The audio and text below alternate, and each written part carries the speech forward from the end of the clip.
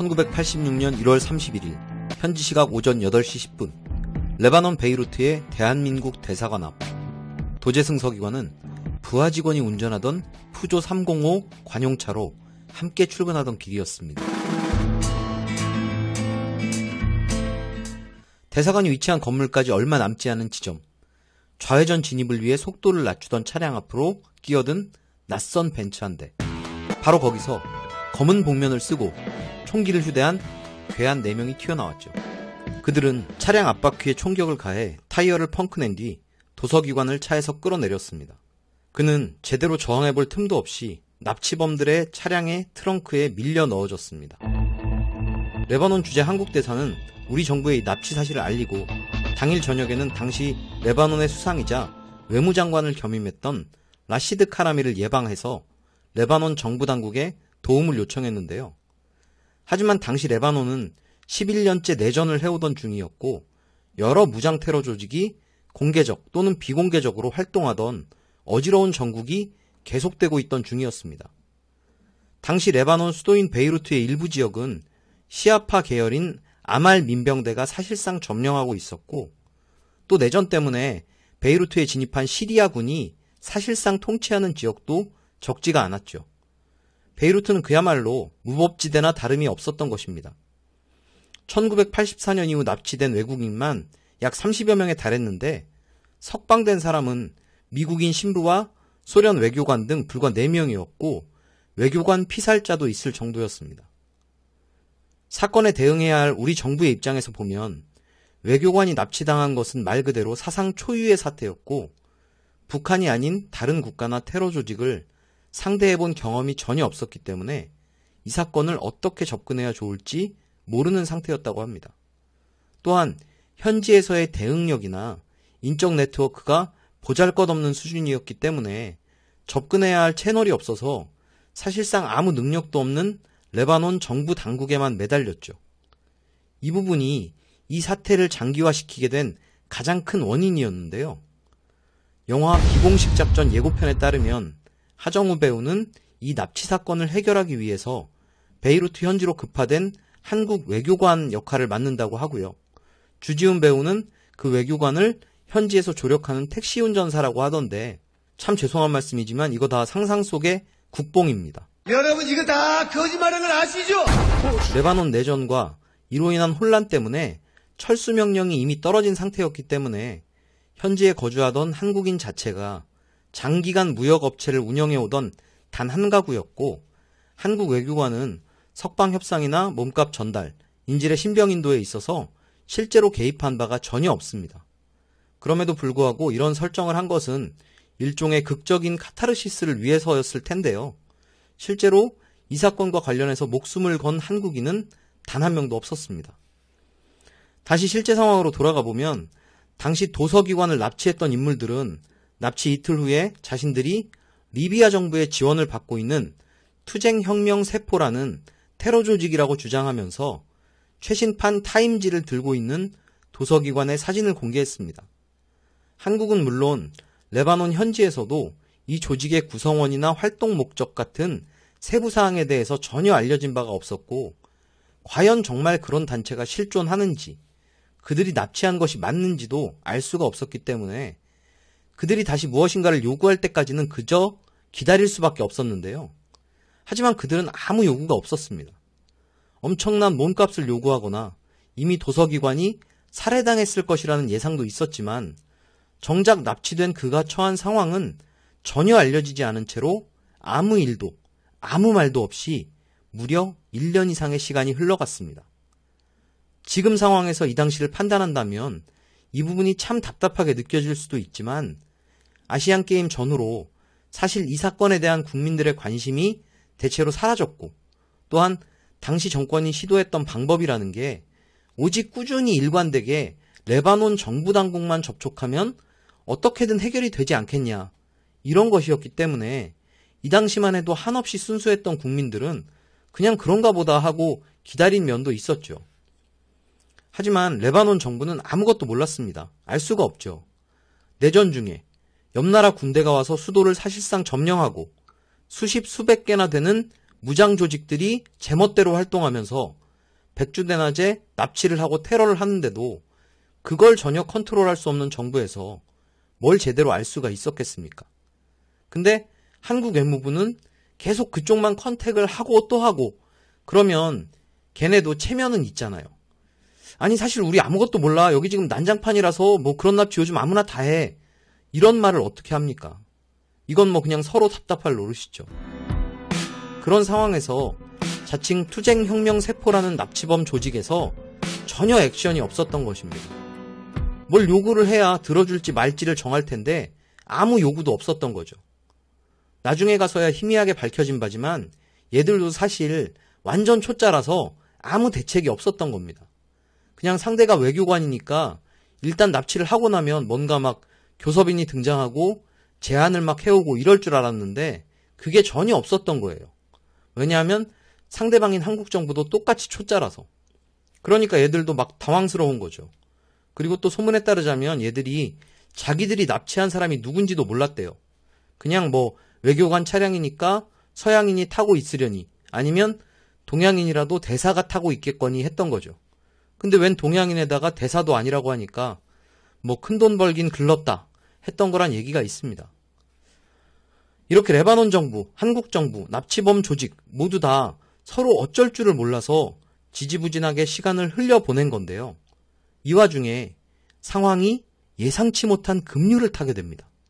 바로 레바논의 라시드 카라미 수상이 여름 별장에서 헬기로 돌아오던 중에 폭탄이 터져서 피살당하는 일이 벌어졌던 것입니다. 그뿐 아니라 한국에서도 연달아 사건이 터졌죠. 4.13 호헌 조치, 박종철 고문치사 사건, 그리고 서울의 봄, 6월 민주항쟁과 6.29 선언으로 대통령 선거를 직선제로 치르게 됐다는 소식이 들려왔죠. 그래서 이제 이 납치 사건은 레바논 정국이 어떻게 얼마나 더 안 좋아질지 한 치 앞도 알 수가 없는 상태에서 누가 한국의 차기 정권을 잡을지 결정될 12월의 대통령 선거 전까지 도서기관을 귀환시키지 못한다면 어쩌면 아예 해결할 수 없는 최악의 상태가 될 가능성이 매우 높은 상황이 되어버렸던 것입니다. 이렇다 보니 외무부에서도 벌써 납치된 지 1년 6개월 가까이 지난 도서기관이 이미 사망했을 것이다. 라는 비관적인 전망이 점차 커져갔고요. 1년 6개월 동안 손도 대지 못한 난제를 남아있는 5개월 동안 완벽하게 풀어야 한다는 게 얼핏 생각해도 불가능한 일처럼 느껴졌죠. 하지만 사건 해결의 실마리는 오히려 중동에서 사업을 하며 현지 인맥을 구축해온 민간인에게서 시작됐습니다. 실명을 알기도 어렵고 밝히기는 더욱 어려운 여러 사람들이 등장하기 때문에 이분들을 먼저 설명하겠습니다. A는 모 재벌 기업에서 중동 지역 업무를 담당했다가 은퇴한 기업인이자 한국 외무부와 안기부 그리고 각국의 정보 조직과 민간에 다양한 인맥을 갖고 계신 분이었는데 바로 이분이 이 사건을 해결하는 단초를 제공한 분입니다. B는 A의 후배이며 당시 한국 외무부의 요직에 근무하던 외교관이었는데 이 사건 해결에서 한국 정부의 입장을 대변하며 관련자들과의 상황을 조율하는 역할을 맡게 됩니다. C는 A의 오랜 친구이자 미국 정보기관의 요원이었던 미국인인데 중동 지역에서 얼마 전까지 민감한 정치적 문제를 다루는 임무에 종사해왔고 이 사건의 실제적인 해결에 있어서 전반적인 상황을 총괄하게 됩니다. D는 C와 친분이 있던 유럽의 미술 수집상인데요. 유럽 각국의 고위층과 정부 인사들과도 긴밀하게 접촉하고 있었고 내전 이전까지는 베이루트를 중심으로 사업체를 운영했기 때문에 확실한 현지 인맥도 갖고 있었습니다.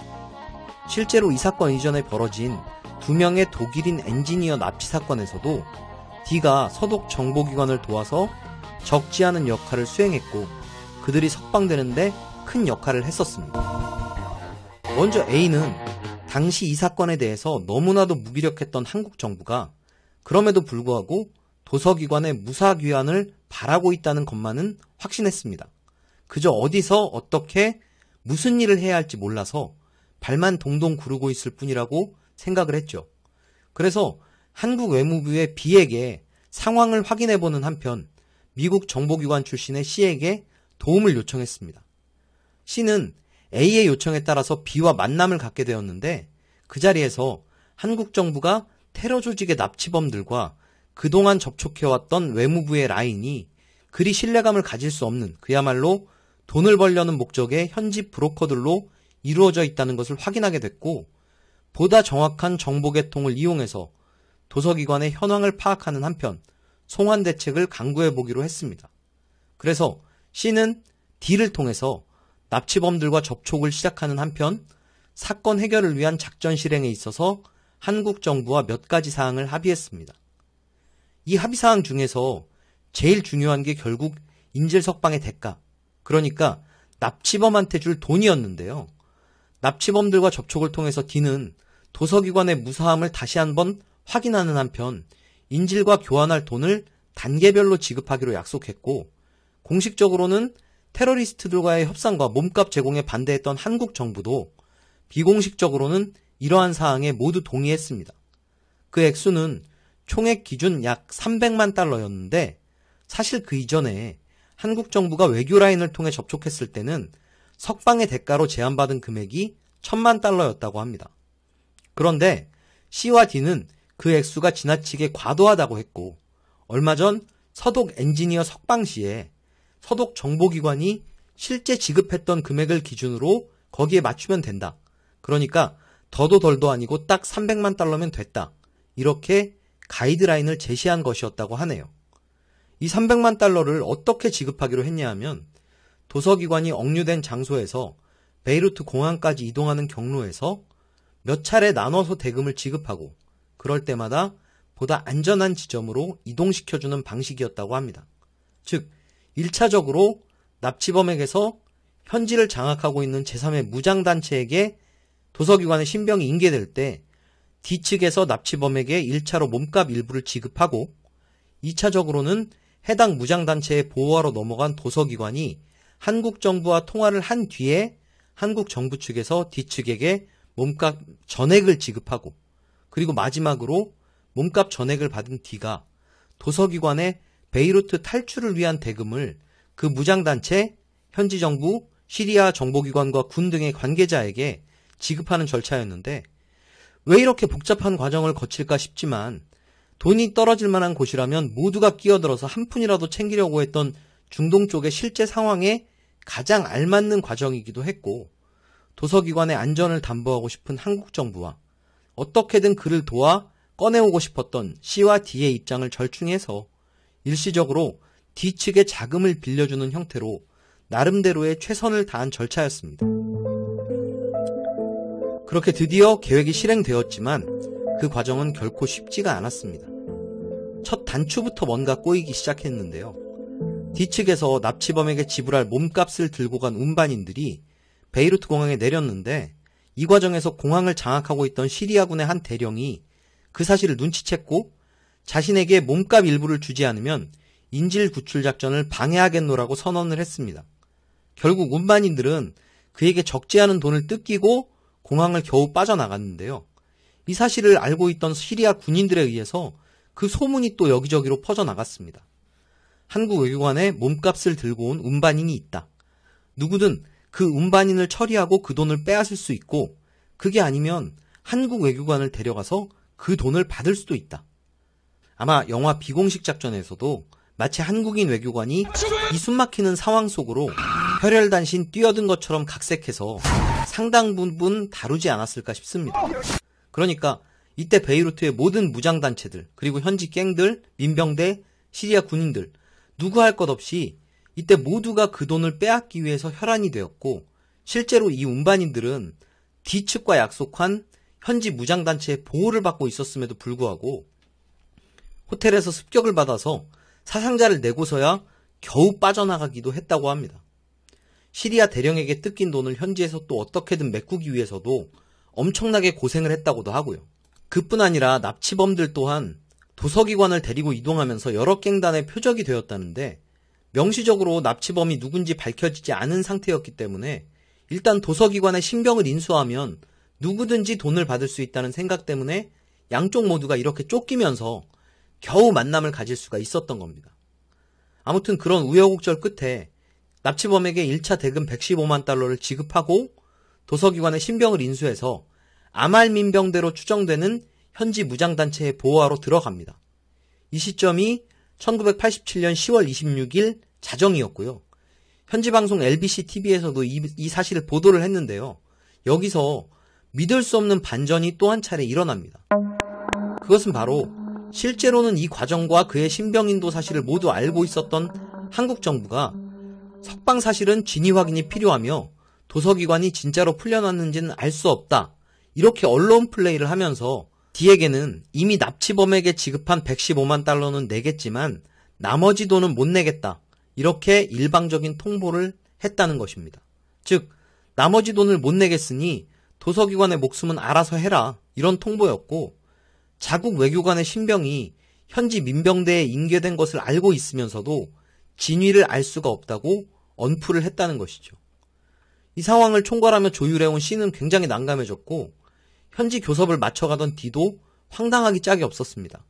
말하자면 도서기관을 살릴 거라면 나머지 돈은 D가 알아서 부담하고 만약 D가 그 돈 못 내겠다면 한국 정부는 외교관이 죽든 말든 신경 쓰지 않겠다라는 것이었는데 이 상황이 얼마나 황당했냐면 다음 날인 28일에는 아말 민병대 조직을 사실상 이끌고 있던 레바논 법무장관까지 나서서 도서기관이 틀림없이 몸값을 지불하고 풀려났다고 다시 인터뷰를 할 정도였습니다. 분명히 살아있고 돌아갈 거니까 한국 정부는 약속한 돈 내놔라 이거였죠.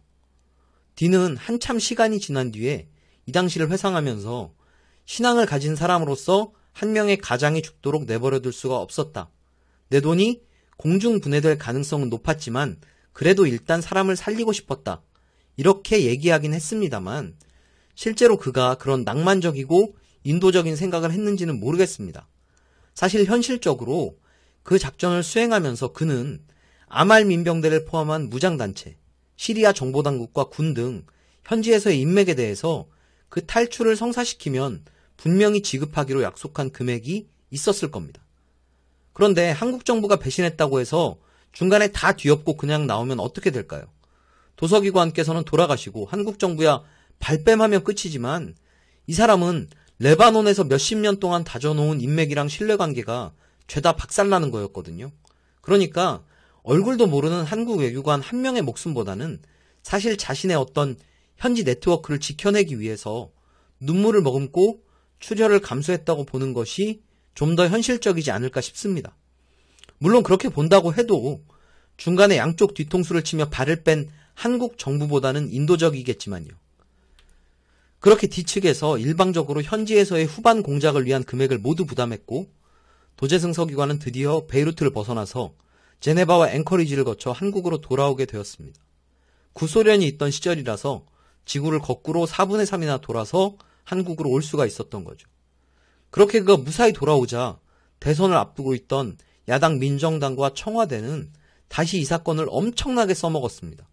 그리곤 교섭에 지장을 줄까봐 석방 사실을 한 발 늦춰서 발표했다느니 신변 보장을 위해 레바논 정부 측이 석방됐다는 발표를 조작해서 발표한 것이라느니 이런 거짓말을 막 신문에 실어댔는데요. 거짓말을 해도 일관성이 있어야 하는 법인데 이렇게 상반된 얘기는 누가 봐도 말이 안 되는 상황이었습니다.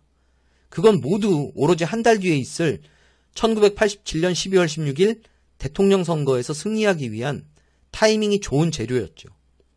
이 사건의 진짜 영웅들, 그러니까 무능하고 무지한 정부로부터 버려진 채로 거의 22개월을 창문도 없는 독방에서 혼자서 참고 견뎌낸 도서기관, 그리고 그런 그를 기다리며 레바논 TV에까지 출연해서 눈물로 호소했던 그의 가족들, 그를 구하기 위해서 각자의 입장에서 최선을 다한 A, B, C, D. 이들은 모두 아주 손쉽게 잊혀졌고 대신 자칭 보통 사람의 시대가 열렸죠.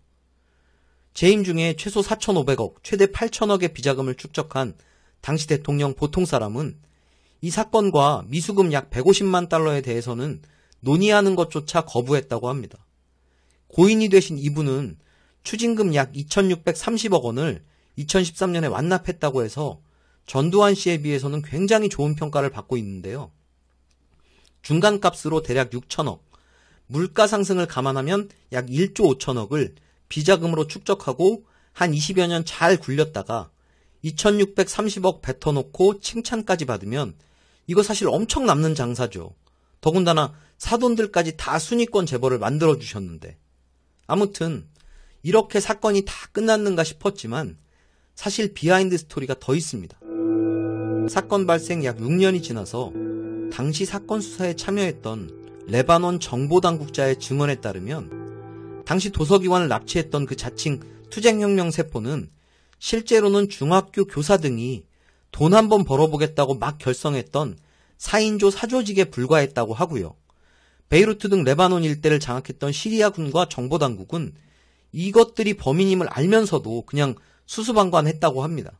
그리고 한국 정부가 제공한 돈이 납치범들에게 전달된 이후 도서기관이 생환한 이후에야 이들을 검거해서 처벌했다는데 그 처벌 수위가 1년 정도의 징역형에 그친 것을 보면 사실상 시리아 정부나 당국자들도 거의 한통속이 되어 돈 뜯어내기에 주력한 것이 아닐까 싶습니다. 더구나 주범인 중학교 교사는 다마스커스에서 1년 복역한 이후에 베이루트 시내 중학교에 복직해서 교직에 계속 종사했다고 하니까 참 어질어질하죠. 이렇게 여러모로 뒤끝이 씁쓸한 오늘의 사건 파일. 1986년 레바논 한국 외교관 납치 사건은 여기까지입니다. 감사합니다.